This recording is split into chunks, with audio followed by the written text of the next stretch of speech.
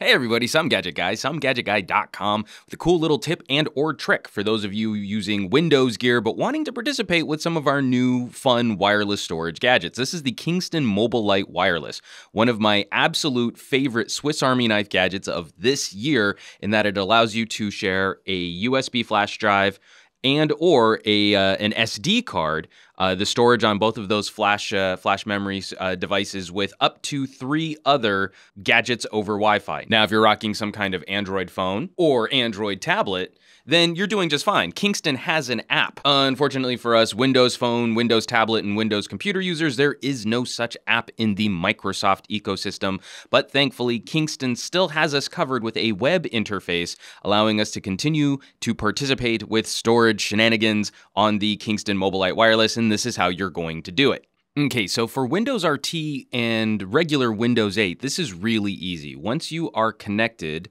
to the MobileLite. Here we're going to scroll in. So here's MobileLite wireless, and I'm going to connect to this. And this is the Wi Fi signal that's being broadcast over here. You don't need any app for the bridge feature. So when the wire, uh, when the MobileLite is connected to my home network, and you connect to the MobileLite, it automatically will share your wireless uh, data access.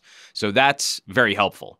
And we're going to let that go. It does take a small chunk as I have a 30 megabit download. And anytime you use a bridge or a wireless extender, you can count on a good, you know, at least 30% of your bandwidth gone right off the top. But this is pretty good considering that this is uh, streaming off of a portable mobile Wi Fi hotspot. Okay, so the cool thing about Windows 8 and Windows RT, wireless sharing is very easy. You're just going to go into your networking settings. So if we go into any kind of file browser, file window on the traditional desktop, and we go to network, uh, you're going to see all of the d- different devices that you can connect to over your various networking solutions. I'm connected to the MobileLite, so I'm going to tap on MobileLite. There's an option for the USB. The USB stick is connected here. You'd see a separate folder for the SD card if there was an SD card installed in the MobileLite. I'm going to double tap on that all of the files are ready to go right there. So you don't need any special app to get in and interact with uh, files here. And so if we want to play a video, I'm going to play uh, one in the public domain. And here's Night of the Living Dead. So that way Google won't freak out about copyright violations. And performance is super smooth. So if I want to skip to later in the film, I just drag that along. And there we are. I'm uh, probably spoiling something for you people if you've never seen Night of the Living Dead. So I'm going to go ahead and pause that. This is all very easy to do on a proper Windows computer or a Windows RT tablet.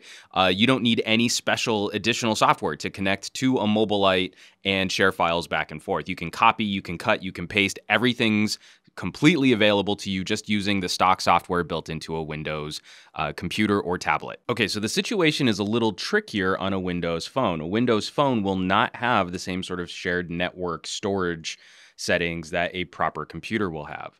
So we want to make sure that we connect to the MobileLite Wireless and I am connected to it. I'm just showing you where these settings are. So when we connect to the MobileLite Wireless, the same thing happens, thankfully, where we get to share all of the uh, the internet with uh, the data connection that's connected to the MobileLite.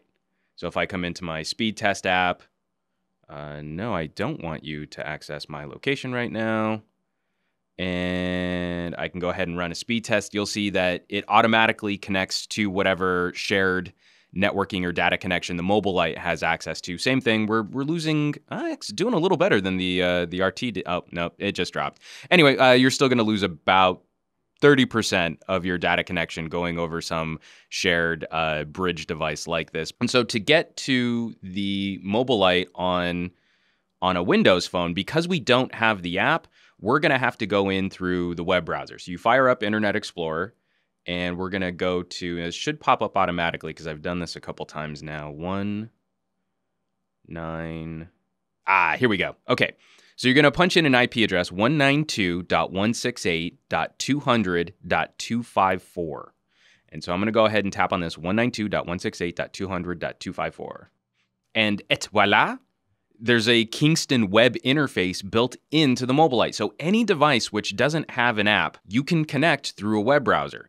And so, uh, so say you're you're on a Mac and you want to be able to connect to storage on the MobileLite while someone else is using the MobileLite on an app on an iPhone, for example. You punch in 192.168.200.254, and you should be able to see all of the files on there too, so long as you're connected over Wi-Fi. And so now, if I come into the USB, it's going to take just a little bit longer than it did on the Windows RT tablet, but I can come into the video files.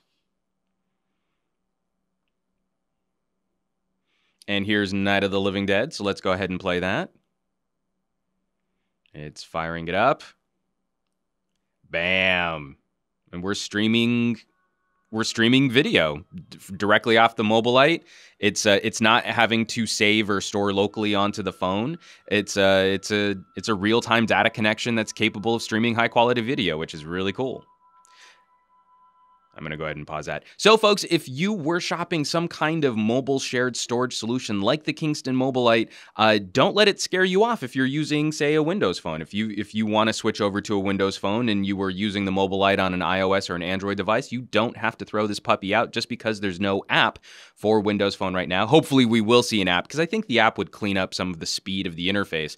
But even without the app, it's still a perfectly reasonable way to share files, to store files, and to uh, connect several devices to the same amount of storage over Wi Fi. I think it's a great solution. Definitely one of my favorite gadgets of the year. And thankfully, we don't have to give up that functionality on Windows Phone. So, folks, thanks for watching, and I will catch you all on the next video.